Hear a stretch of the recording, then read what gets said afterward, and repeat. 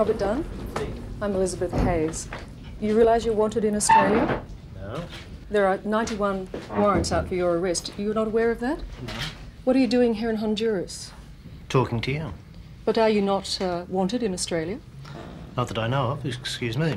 There are 91 arrest, uh, warrants out for your arrest, right, Mr. Dunn. All right, all right, you said it. Mr. Dunn, are you a pedophile?